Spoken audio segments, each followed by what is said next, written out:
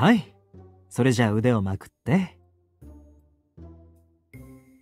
少しチクッとするけど我慢してね。大丈夫。僕がついてるからさ。いつでも僕の愛で包み込んであげるよ。どうかしたの？なんだかいつもとは様子が違うみたいだ。かといって過労なんかとはまた別物みたいだし。何か心配事があるなら話を聞くよ。その言い方は心配事以外に気になることがあるんじゃないのかい？話すだけでもすっきりするかもしれないよ。それに僕は秘密は守る主義だ。絶対に誰にも喋らない。だから何かあるなら言ってくれないかい？できるなら君の力になりたい。そして二人だけの秘密を共有したい。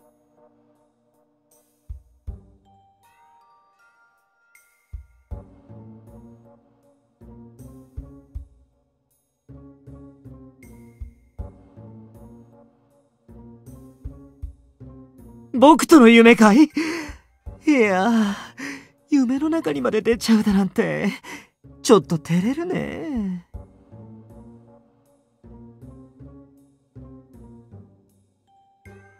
うわごめん。ちょっと待って。謝るから。ごめんなさい。調子に乗りすぎました。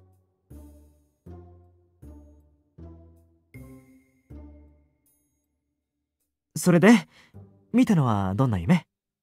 もしかしてとても激しく荒々しく惜しい夢？自分と会話？それは前に言ってた幻聴とはまた別の？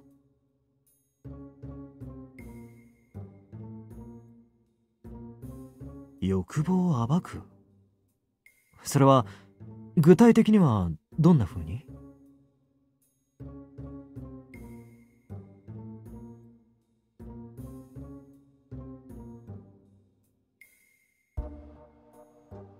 異性のこと？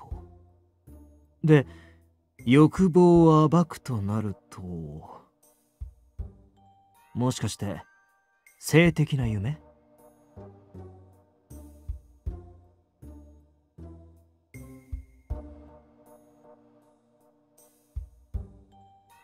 それって無性をしたってことでいいのかな？ならオナニーはいつしたのかな？いや、溜まっているなら僕が相手をしてもいいんだよ。というアピール。というのは冗談で、オナニーについて聞いたのは過度な欲求不満状態にあるかどうかの確認なんだ。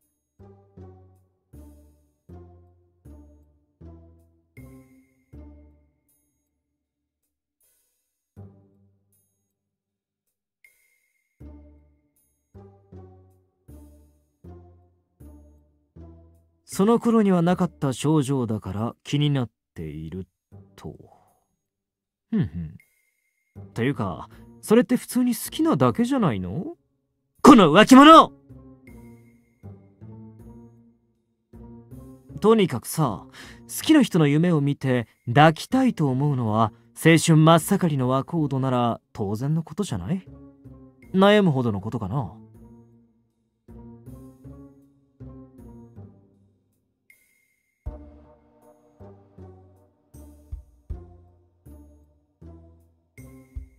それについてはすまないと思ってるんだ。それに君を人間に戻す方法も。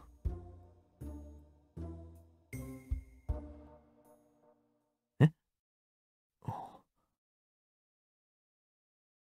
あのムツラ君？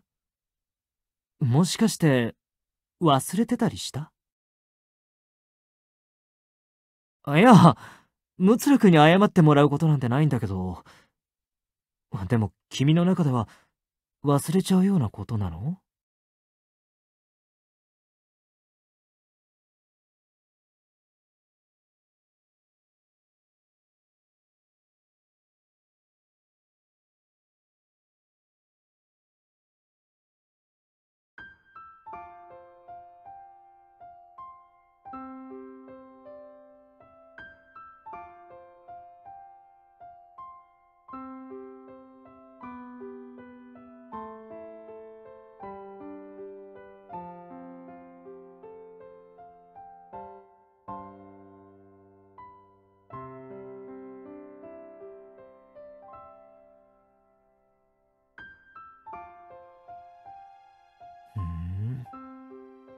そっか。なるほどね。ま自分の不甲斐なさの言い訳じゃないけどそう思ってくれてるなら僕としても嬉しいね。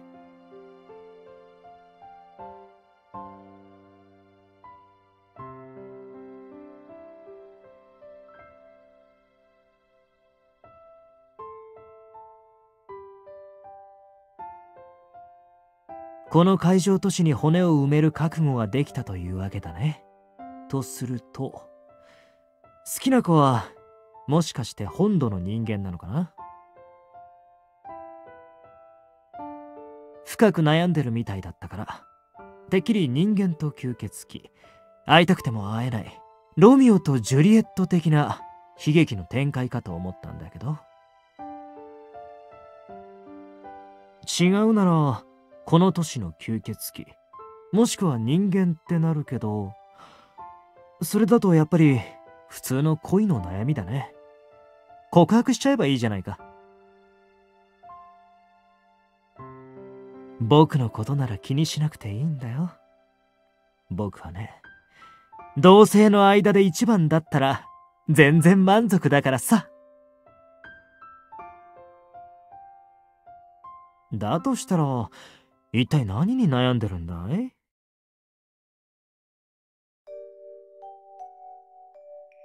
ライカンスロープに似ていると打ち明けるのが怖いってことかい？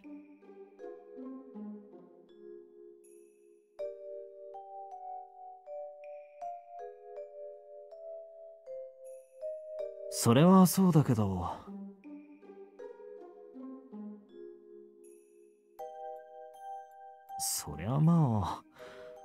そういう噂が広まったら今みたいな生活はできないだろうね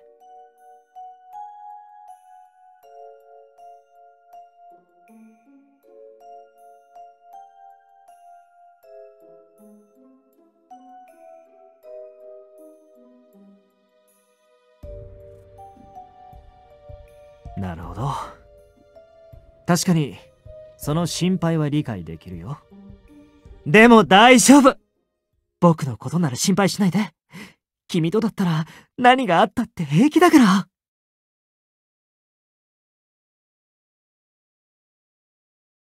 おっと、そうだったね。いや、ごめんごめん。医療関係の話じゃないと分かって、思わず気を抜いちゃったんだよ。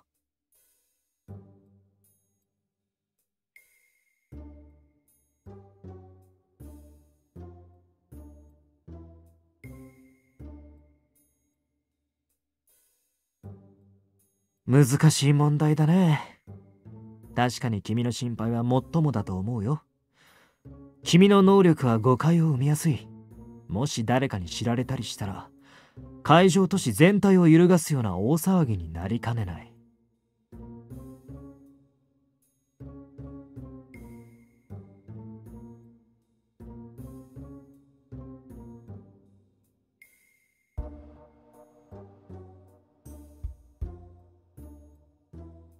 そういう悩みなら。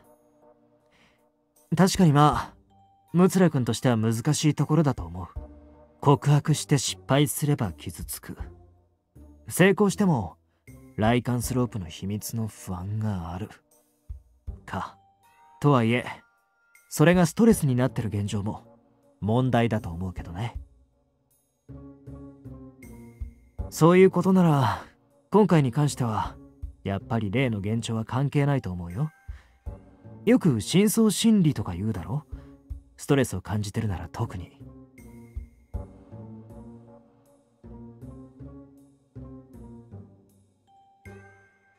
こういうことは医者には何ともできないけど。ただ、一つだけいいかな。君はさっき、この都市での生活は楽しいと、充実していると言ったね。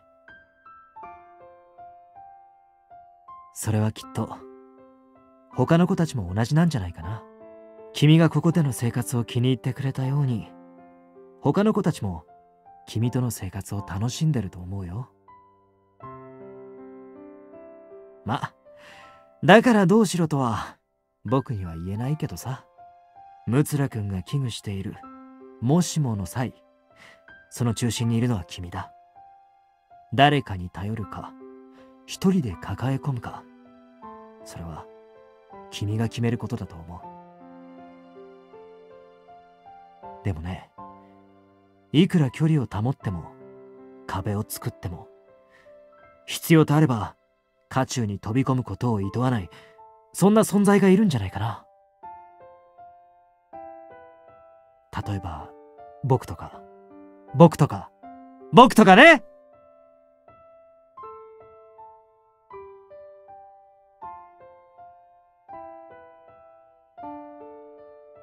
あれ？僕のことはスルーなのかい？全然違う人のことを考えているよね。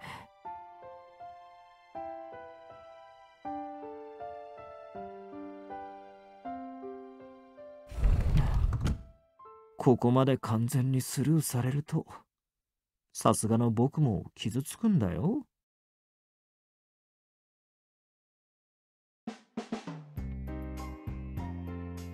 少し遅いぞ、ムツラ。あ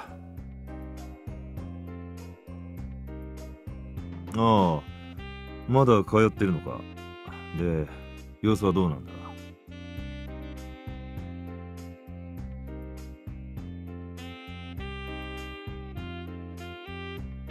そうか。ならミーティングを始めるぞ。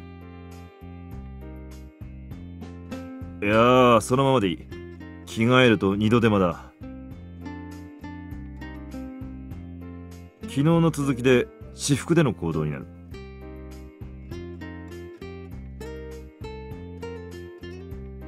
おはよう。病院に行ってたのよね。結果はどうだったの？そう。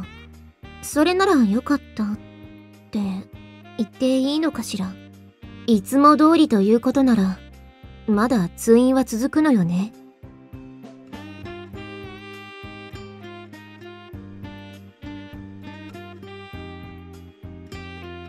とどうかしたの？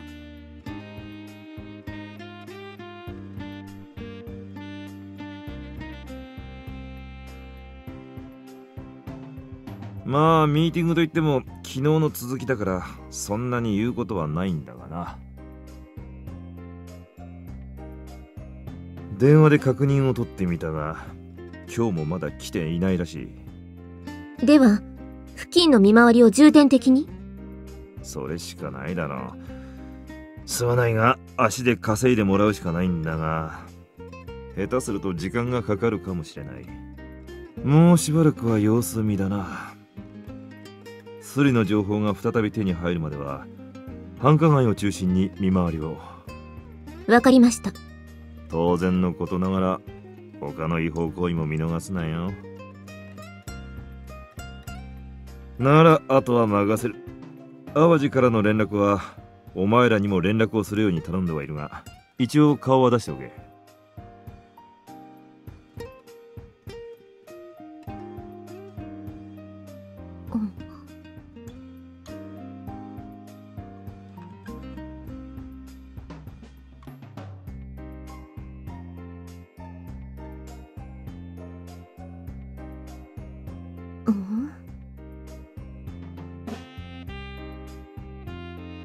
それで言うと、今日はどうするの？だからてよ。昨日と同じように恋人の偽装をする？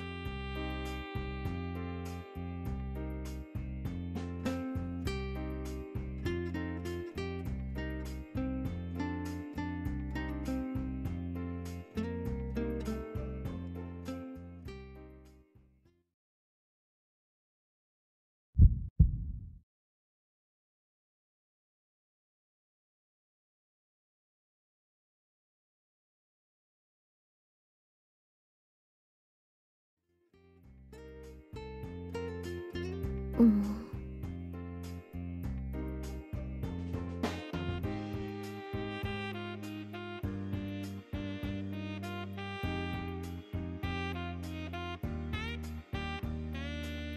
言うと態度がなんか変じゃな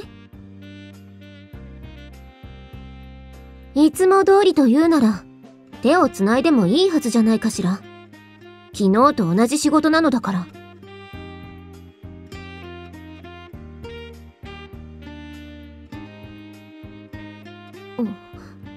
それは確かにそうね。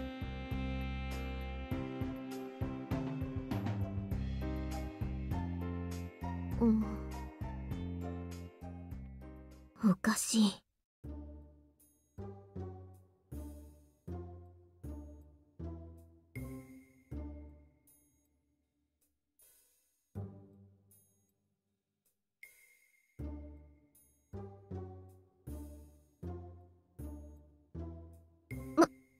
さか昨日のキスのこと知っているんじゃないかしら。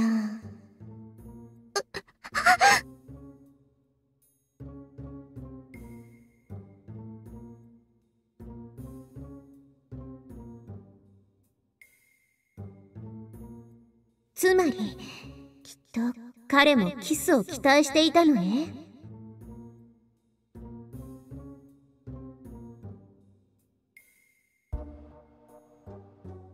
それならきっと彼はあなたの気持ちに気づいたのね。